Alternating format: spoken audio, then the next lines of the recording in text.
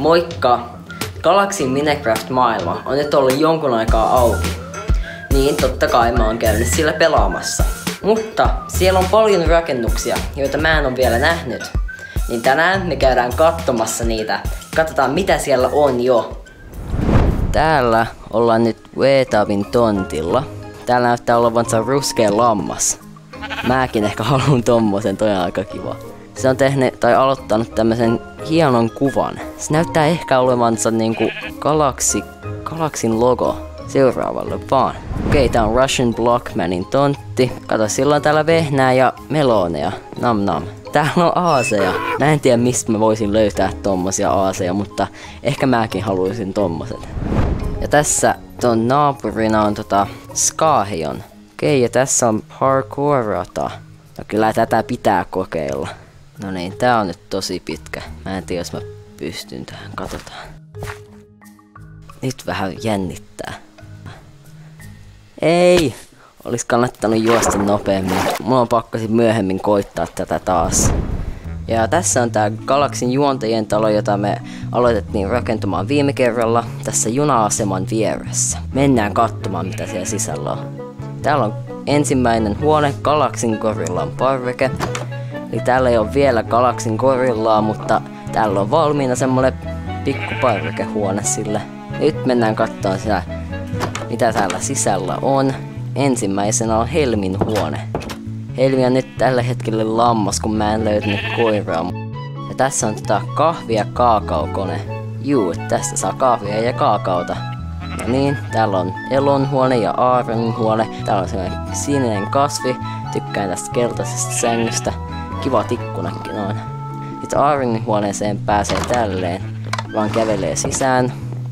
Täälläkin on sininen kukka ja niitä hienoja ikkunia. Ja täällä on semmonen pinkkisänky. Täältä näkyy ihan naapureitakin. Ja sitten jatketaan tänne. Tää on Millan huone. Vähän semmonen kun Milla tykkää hevosista, niin täällä on kyllä hevosia. Näkyy täältä alhaalta. Siellä on.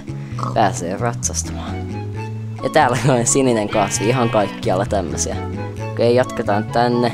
Mennään tätä vesiliukumäkeä alaspäin. Astu kattoluukun eteen ja avaa se. Okei, astutaan tähän ja avataan. Ui! Siinä se on vesiliukumäki. Siinä on värikästä lasia siinä ja semmonen uima-allas täällä alhaalla. Mä tykkään siitä uima-alta, on mun mielestä tosi kiva. Niin täällä mulla on semmonen parkour-rata. Mullakin on semmonen, että koitetaanpas tätä. Jees, mä pääsin sinne ylös. Onneksi olkoon pääsit hienosti tänne. Joo, mä tein tämmösen, että jos ootte täällä koskaan ja pääsette tänne ylös, niin saatte tommosen. Voitte kertoa mullekin chatissa, että sit mä tiedän. Tässä on Adan huone. Eli täällä on semmonen harmaa sänky. Siis mulla on arkkuja ja kaikkea täällä. Täällä on, täälläkin on ikkuna, pari ikkuna ja sit täältäkin näkee tonne juontajien olohuoneeseen ylös.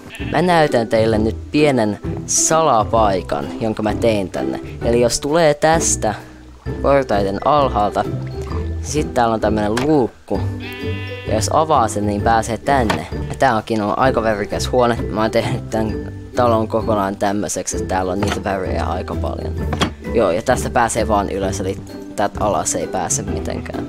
Tossa oli Galaksin juontajien talo. Eli nyt jatketaan seuraavalle talolle. Ja tässä ihan vieressä tää puumaja, Nepin puumaja. Katsotaan. Mä tykkään tästä sinisestä lasista. Ne on kyllä hauskoja. Kato, kun menee tänne ylös, niin voi nähdä aika pitkälle täältä. Kyllä puumajat ihan mun jutut, mä tykkään niistä tosi paljon. Ehkä munkin olisi kannattanut tehdä semmonen. Ja tässä tota, toinen talo, Vauskin talo rakennettu mun viereen, niin kuin kaikki nämä naapurit. Täällä sisällä ei näytä nyt olevansa paljon, mutta kyllä tähän varmasti tulee jotain myöhemmin. Tässäkin näyttää olevansa toinen aika minimalistinen talo. Neemilin talo. Se on vaan yksi arkku ja tämmönen ja pari puuta. Kyllä se kai joillekin riittää. Ja tässä vielä kopantalo. Näyttää aika kodikkaalta ja tosi hieno katto on tohon tehty. Mä en pääse nyt sisään, mutta siellä on hieno lattiakin ja sininen sänky. Tää on kyllä aika mukava talo mun mielestä.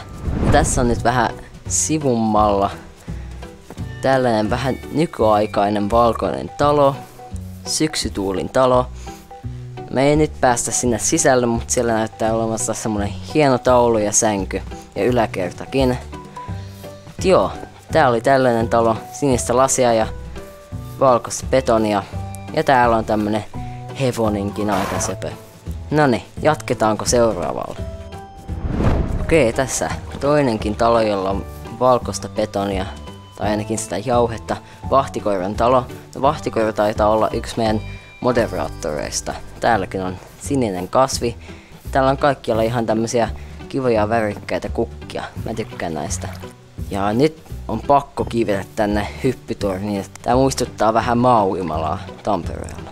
Hypätään täältä. Ja hyppy. 36. Melkein saatiin. Tää on ihan kaikkialla uima-altaita. Aika suosittuja. Ja nyt tässä meillä on viimeinen talo. Tää on Talkkarin talo. Talkkari on toinen moderaattori tällä serverillä. Ulkopuolelta näyttää tosi hyvältä talolta. Kato, siinä on savupiippukin. Mä en oo koskaan tehnyt semmosen mun talon. Täällä on totta kai kasvejakin, porkkanoita ja vehnää ja kaikkea. Tää hieno talo on, mutta täällä ei ole sinistä kasvia, joten 4 kautta 5. Galaxy Craft on auki joka tiistaista lauantaihin kello 13-18. Näiden nyt nähtyjen paikkojen lisäksi siellä on kokonainen survival-maailma, jota ei olla Galaxin videoilla vielä edes nähty. Seuraavaan kertaan. Moi moi!